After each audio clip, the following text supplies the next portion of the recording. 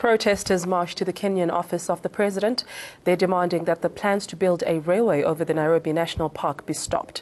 Now, speaking outside the president's office in Kenya's capital, one protester said that the planned railway could cause ir- irreparable damage to the reputation of the country. And another protester, Teresia Lizian, was concerned that if the railway was built, the animals that inhabit the park would be threatened and they would come to the surrounding homesteads, endangering children and livestock.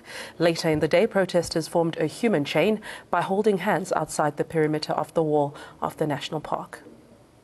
This planned SGR will do irreparable damage to the reputation as conservancies, conservationists of Kenya.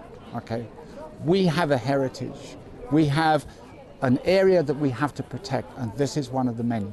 If we let this go, it opens the book for anybody, any Tom, Dick, and Harry to hide off land of our national park. It cannot happen. Not in my lifetime. It cannot happen. We march every day, but today we have decided to come to the president. Our only quarrel is the railway. We do not want the rail inside the national park. The animals will come out.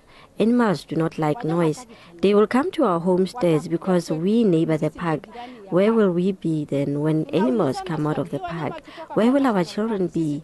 Our livestock, our cows, our sheep, where will they be?